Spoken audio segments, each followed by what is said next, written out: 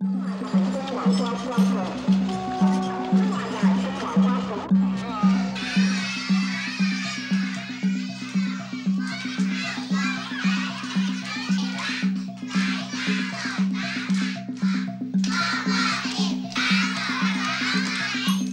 人民政府咧发俾我哋每地夫婦生個孩子嘅優待證。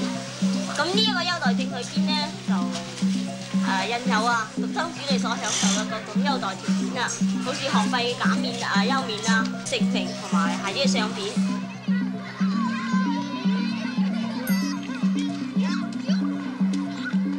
strong pressure, very strong pressure, is used to persuade people to have an abortion of any unauthorized pregnancy and to have one partner sterilized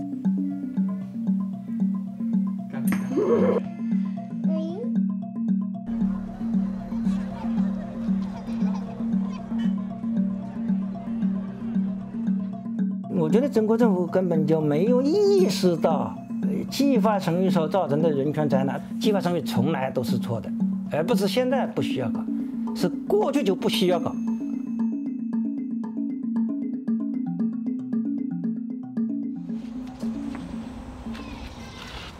就是计生卫生和计划生育委员会，嗯，他们现在就发这种教人怎么教养孩子、教孩子的书。以前呢，这个有个举报箱，计划生育举报箱，嗯，就是检举谁有肚子大，是不是有非法怀孕了？这个就是那个个免费免费避孕套，嗯，还有办理独生子女父母年老的一次性奖励，嗯，少生还是有奖励的，是吧？义务教育小学挂图，小学教学挂图，你看他在教孩子们什么？不是说让你节约用水、节约粮食，遵守交通规则，不是这个。他把这个用水紧张、粮食短缺、环境污染、交通拥挤都归结于人口的不断增长。你看，中国给人的形象就是这样，人挤人。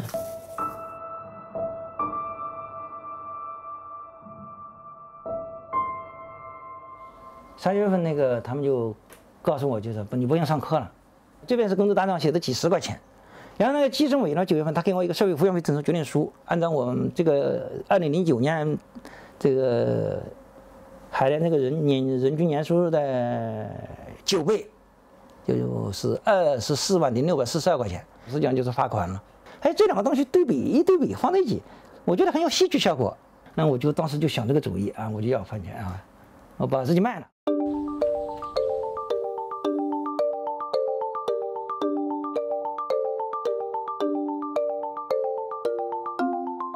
的视频的时候呢，旁边就有老师，他说我们给拍张照行不行？我说你爱拍就拍吧。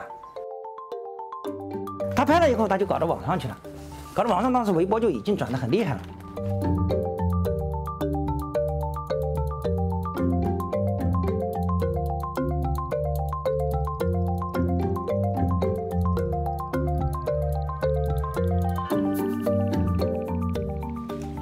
希望把计划生育早点干掉，把计划生育干掉呢，我还去教我的民法，嗯，并没有想跟计划生育缠斗一辈子。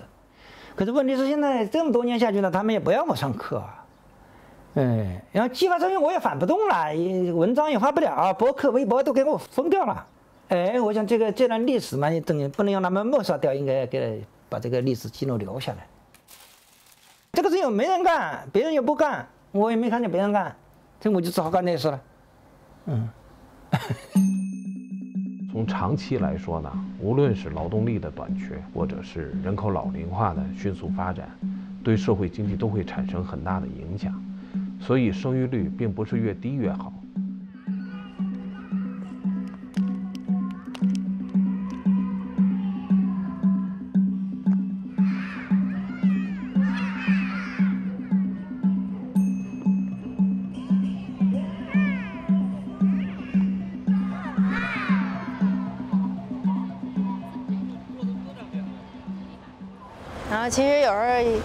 想说去别的地方，但是没有身份证，没有办法，也买不了票。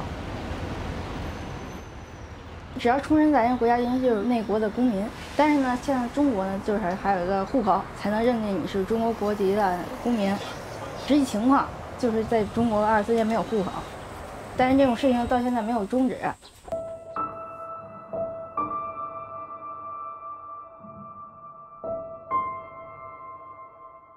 办理户口登记的，是应该依那个公安机关户口登记的相关规定去办理。就我父亲拿着出生证去派出所上户口，派出所就说一个没有接班班和便条不给我上。计生办给了一个，嗯，一九九三年给了一个五千元的处罚决定书。他这五千元在一九九三年来说的话是一个天文数字。我母亲在哺乳期被开除，就因为生下我。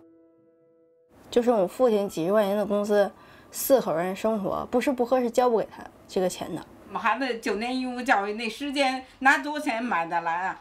那时间已经过去了。派出所一直以以这个计划生育为名去说这个事情，不给我上户口。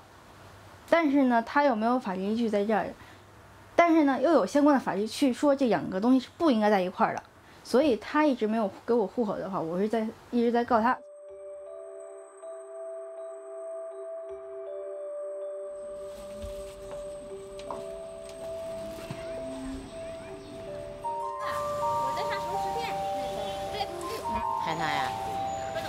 反正哪年都有一次。我说你搁哪放呀？我妈说你看不着，就上拿国外去放去。谢谢你。就比如说像我这种没有户口的人，如果找或者找人家的话，也是说，首先你不能合法，你不能领结婚证，因为因为你没有户口。然后再有，如果你就是再生小孩了，小孩一样没有户口。我虽然没有上学，我现在在学一些法律，为了我的事情。我们还在老看着就这法律书，没看这打后边了，嗯，这跟图书馆借的，图书馆借书去，我们家孩子使他姐一个，他姐办一个图书卡呢，那卡也有照片，我们孩子都怕人家到时候就查出不是他本人，都怕我们家孩子都他妈借不了书。我能上学，他上不了，他心里就挺别扭的。嗯，我有同学，我一说出去玩去什么的，或者学校组织活动，他那他羡慕的不行了都，嗯，自己哪儿也去不了啊。然后你这一上上了班以后能挣钱了，有时候跟同事出去或者什么的，他更羡慕了。而且他也想挺想工作的，能跟我分担点负担什么的，没人要他也没法去，所以挺挺他挺难受的。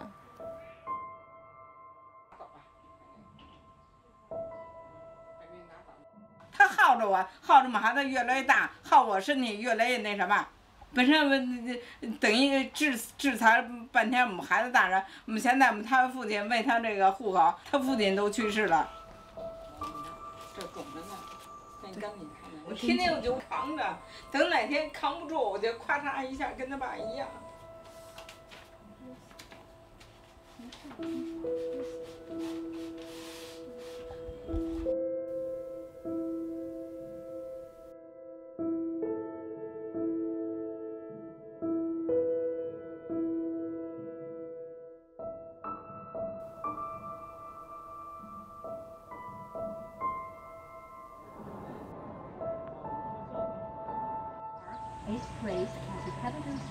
Background garden and green wall. 琪琪，奥林匹克公园分中心区，在我自己的这个生涯当中，我觉得，呃，如果是所谓计划外的孩子吧，基本上是真的是很难得到祝福的。其实有区别吗？对吗？都是孩子，都是怀孕，都是生孩子。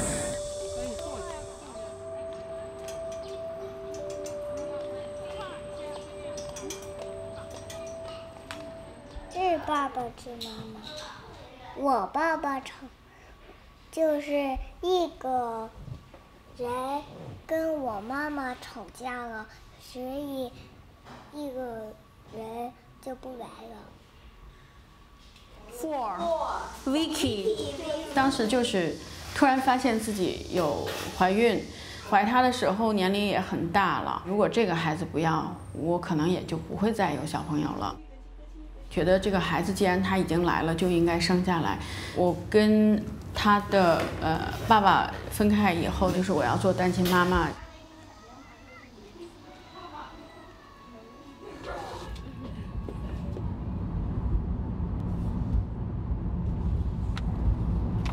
妈，藏起来也能找到。街道嘛，辖区居民他都有档案，他可能会看到哦，你有孩子，而且你已经这样了，你不应该再生。你既然决定要怀他了，你就不希望有一天突然让人给拉过去强制引产了，对不对？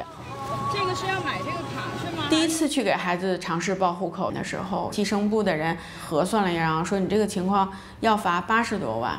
我不可能说花八十多万，我给孩子仅仅就是买一个户口，虽然户口这么重要，但是没有理由的事情。只要他是罚款，不管你的资产有多大，你都会觉得不公平。因为我的孩子我养，不是你政府养，每一分钱都是我自己腰包掏出来的，然后我还要花那么多钱去买他的出生，这个就本身对所有人都是不公平的。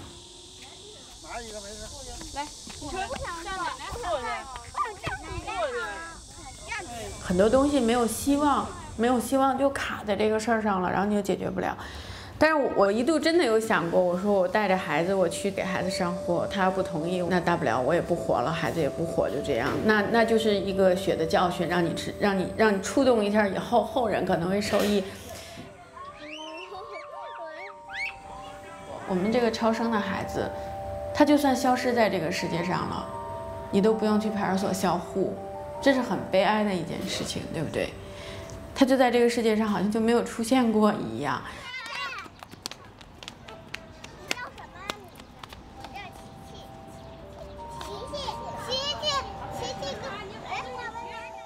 四月中的时候，大家开始奔走相告，说你家里如果有出生了但是没有上户口的这种计划外的孩子，你可以赶紧去上户口了，非常简单。就是说你上户口的时候，呃，不需要再去呃审核你的这个呃计划生育这一块了。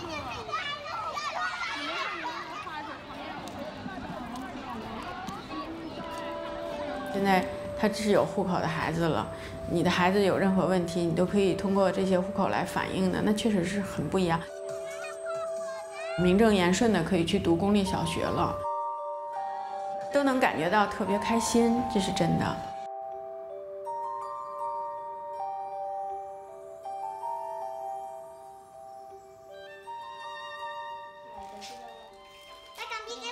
我估计正忙着的时候。嗯。你想要个妹妹，你想要妹妹以后会不会？姐姐不陪我玩。会不会像姐姐一样？你要个妹妹吧。你要了妹妹，你可能会像姐姐一样，觉得妹妹。五朵金花我都不嫌烦，五朵金花，五朵金花再生个儿子六个正好。因为姐姐不陪我玩。人不能选择自己想要的生活是挺痛苦的，那样他不能按照他自己的想法去生第三个孩子。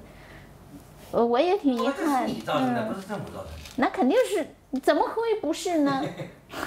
嗯？怎么不会？怎么会是我造成的呢？嗯，你不愿意生就是。但是如果再再有几十万的罚款，我们怎么过？